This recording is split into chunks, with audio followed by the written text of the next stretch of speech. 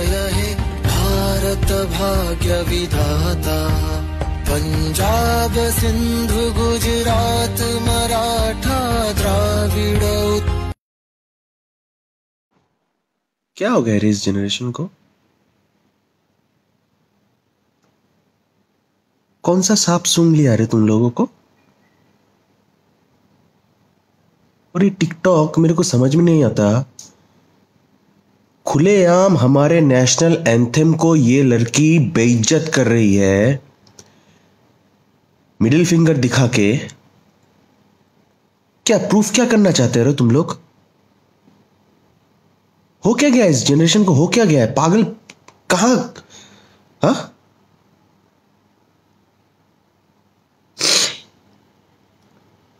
बचपन से जो एंथम सुन के रोंगटे खड़े हो जाते हैं यार। गूजबम्स आ जाता है।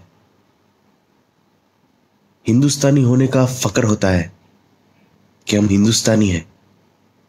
और ये आजकल के बारह तेरह साल के लड़के, लड़कियाँ, ये क्या कर रहे रे ये लोग? फिर भी तुम लोग का खून नहीं खोलता रहे नहीं मन करता रहे इस टिकटॉक को अनइंस्टॉल कर दे, इसको प्ले स्टोर से हटा दे, बैन कर दे इसको इंडिया में। अभी तक खून नहीं खोला भाई तुम लोगों का। हा? और कितना और कितना अपने देश को नीचे गिरते हुए देखोगे? हम्म? और कितना अपने देश को नीचे नीचे गिरते हुए देखोगे बे तुम लोग? कब खोल, कब कब खुलेगा तुम्हारा दिमाग? कब मतलब जो लॉक है दिमाग, कब खुलेगा तुम लोगों का? मैं अभी भी बोल सकता हूँ चैलेंज लेके सेवेंटी परसेंट लोगों ने टिकटॉक अनइंस्टॉल नहीं किया। और सलाह करेगा भी नहीं। इसके बाद भी नहीं करेगा। होने देगा। देश को बेइज्जत होने देगा।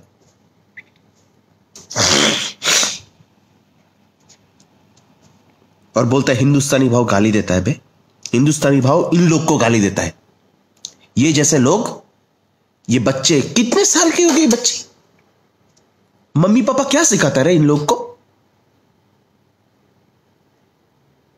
डूब के मर जाना चाहिए ऐसे माँ बाप को। डूब के मर जाओ तुम लोग साले। मर जाओ। अपने बच्ची को नेशनल एंथम की रिस्पेक्ट करना नहीं सिखाया तुम लोगों ने, डूब के मर जाओ साले। मर जाओ। इसके बाद भी अगर तुम लोगों ने टिकटॉक अनइंस्टॉल नहीं किया और उसको प्ले स्टोर से बैन नहीं करवाया तो अपने आप को हिंदुस्तानी मत बोलो बे। इंडियन मत बोलो अपने आप को। भाग जाओ इस देश से, भाग जाओ। देश से भाग जाओ आप लोग। ये देश तुम लोगों का नहीं है। Like followers likes followers likes followers ये सब के लिए अगर हिंदुस्तानी अपने हिंदुस्तान को गिरते हुए देखोगे ऐसे, निकल जाओ इस दुनिया से यार। इस इस देश से निकल जाओ तुम लोग। बस यही कहना है मेरे को। छी।